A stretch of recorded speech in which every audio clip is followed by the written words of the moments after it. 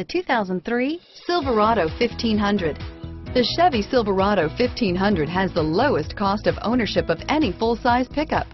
This vehicle has less than 85,000 miles. Is love at first sight really possible? Let us know when you stop in.